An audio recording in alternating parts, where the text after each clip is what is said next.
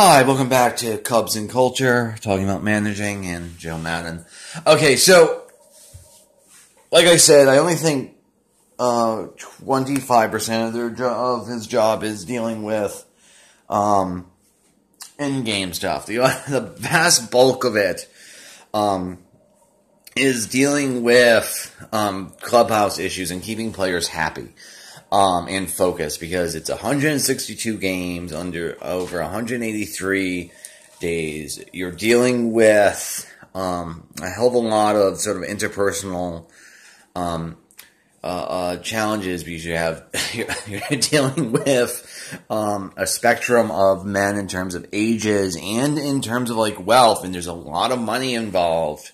Um, uh, in baseball um, and with players. And so, like, so just use a couple of examples of like interpersonal issues that came up over the season, which um, uh, I think Joe Maddon handled very, very well because this is really his strength as a manager. So, like, last season, I think in June, maybe it was July. Um, it's currently under investigation. It's we're not entirely sure because of the way in which the report came out. But anyway, there was a third party accusation against um, Addison Russell of domestic violence. Um, I don't want to like it doesn't like it. Uh, um, uh, how they handle that in terms of um, the clubhouse, and then also as sort of like fans in the press always wants to dig up into the dirt, and so like Maddon and probably with Epstein made the decision that on the accusation when it first broke to just simply not have Addison Russell play that night and take a little bit of hit, um, defensive um, hit um, for that game defensively or whatever. And it like I think that was the right decision. Um, and so it's those sort of decisions that he has to deal with, and then also, um, uh, the other sort of thing is players. You you, get twenty five guys a lot of uh, for the Cubs ages are like 22, 23 to all the way up to John Lackey, who's like 38, 39. Um, and you know, e- issues of ego and of aggression. Like I, like I feel like, like Maddon's uh, manager's ability to prevent players from ki- um, killing each other is probably far more important than how they handle um, um, uh, uh, pitching, uh, in-game pitching stuff. Um, so another sort of really good example of this is uh, Miguel Montero uh, Miggy. Um, he's not. He's very. Uh, he's towards the end of his career. I think he has a minor league deal deal now. In any case, um, last year with um, there's this issue with Arrieta um, and him when they. Uh, uh, Miggy's a better pitch framer than um, uh, uh, Contreras and with Arrieta, his pitches sort of uh, don't move very well. Like they move too much, and so you sort of need a better pitch framer. He's very hard to catch in that way. Um, um, so you should put Miggy in for that. But the thing is, Arrieta is very slow to the plate and he's easy to run on because of that reason. And Miggy has a very bad defensive um, stealing number. Um, so you should use Contreras. so there's like, who do you use? Um, in any case, uh, Miguel Montero and Arrieta against the Nationals one day. Um, Trea Turner, who's their leadoff hitter, um, um, really likes to run, and uh, it wasn't just him, but um, by far and large, um, uh, uh, Trea Turner um, I think Trea Turner ended up being five and someone else stole two. In any case, there were seven stolen bases in that game, which is not, um, which is way too much for a single game.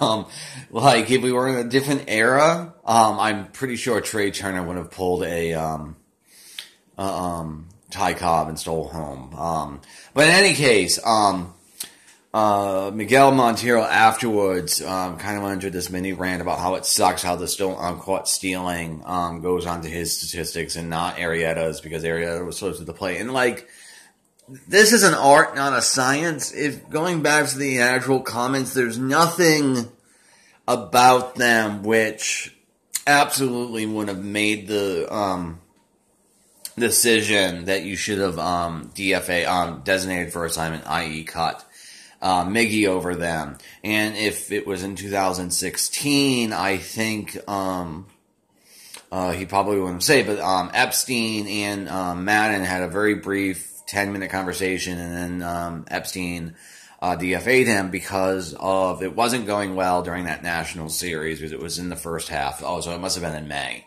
Um, um, etc. And so it's that sort of handling of players um, that are that's important. And so like that sort of um, uh, uh, uh, thing Joe Maddon's really, really good at, or the other sort of thing that he's good at. Um, like I imagine on one hand, it would be really frustrating to play for him because he seems to, um, kind of, um, like, there, uh, like it seems like madness, but it's absolutely a method. So like during the World Series, Baez was in a little bit of a funk, um, which I think was just natural regression towards the mean.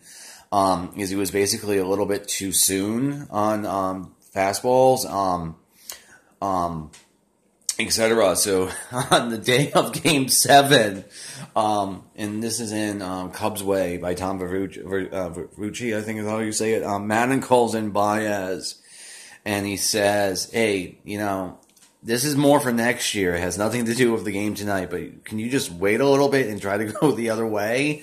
Um, and he also told Russell sort of the same thing because he was having a, a similar issue, and I don't imagine how that conversation went. But the fact of the matter is, Javier Baez knocked Kluber out with that home run the other way.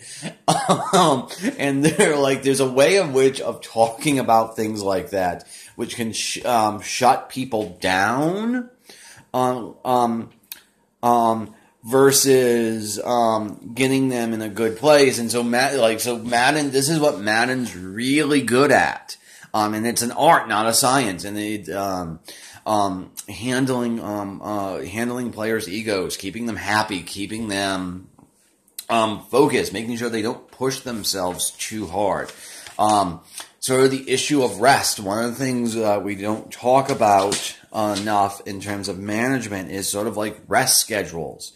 Um, and sort of on the mental um, and how to keep players focused mentally and keeping the game light and a game. And so, like, that's one of the things I think Maddon's really good at. And now I said in my previous section, I thought only someone that was Maddon-esque could break the um, curse uh, for the Cubs because, you know, 108 years, 71 years for the pennant, etc. Um, the thing about the sort of Cubs history, because of the vulgarities of the postseason, we know in terms of like ELO, which is an overall measurement for um, regular season, strength of teams, etc. Um, that they should they have three World Series championships 90, uh, 07, 1907, 1908, and 2016. Um, they should have four other, uh, three, uh, uh, uh, uh, uh, four others though. Um, 2003, probably the most other famous, um, um, example. And then there's also 84 against the Padres when they went up two games and then got swept. Um, uh, uh, I just made myself sad. Anyway, so it, so because of that, no, the thing is, I don't, like, I don't, like, the curse of the Billy Goat is not a thing.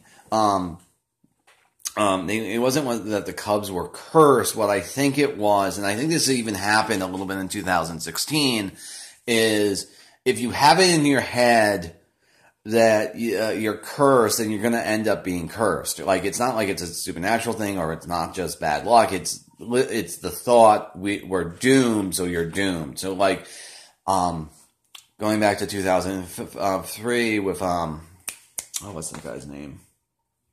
Bartman.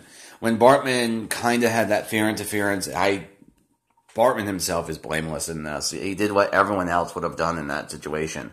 But in any case, the Cubs then proceeded to implode um, in both the eighth inning of um, Game Six and then Game Seven also. Um, that I, I think has everything to do with the mental aspect of we're we we're, we're Cubs, we always lose, therefore we always lose. And I really think, and again, I think you saw this a little bit in the World Series because the Cubs lost the first game in games um, three and four. Um, and three and four were at Wrigley, so there was a tremendous amount of pressure on um, the players. Um, and in some ways, it was very fortunate that we didn't have home field advantage because I thought the the Wrigley fan, the Cubs fans being predominantly in, front, in Wrigley Field, it was too much pressure um, to finally get the thing done, and it really is. Um, this is old f- saying in um, um, baseball that you can't play the game with your teeth clenched. Um, and Maddon, his true strength as a manager is he gets players to unclench their teeth. Um, he, and he did it, and so I think only someone with uh, not if not Maddon per se, someone with Maddon's skill set around handling players' egos and sort of um, soft skills, and realizing that like again, this is somewhat hippie-ish that visual mental um, visual, um, mental visualization mental skills, handling everything is absolutely, um, uh, absolutely important, um, for the, um, sport. And so like, one of the things that I really like about Joe Maddon is I have never, not never, I've, it, I can only think of one game or in three years, I can only think of two times he's had a negative comment about the team, and I've never heard a negative comment about um, um, the uh, and individual players. And so, and it really, when it was about the team, it was always. Come on, guys, stop striking out. That was basically what the comment was. And so, like, that sort of positivity is, like, really refreshing in today's world. Okay, I'm just rambling at this point. I'll see you in a bit.